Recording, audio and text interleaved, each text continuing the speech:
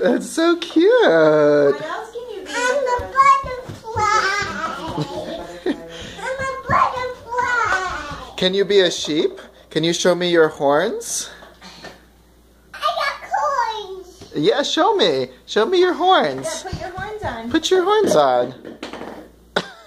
no, you need your. They're on the floor there. there you. Very good. Sheep. Can you go? Bah? All right, now go and be a butterfly now. and now you're a sheep. Good job, Sylvia.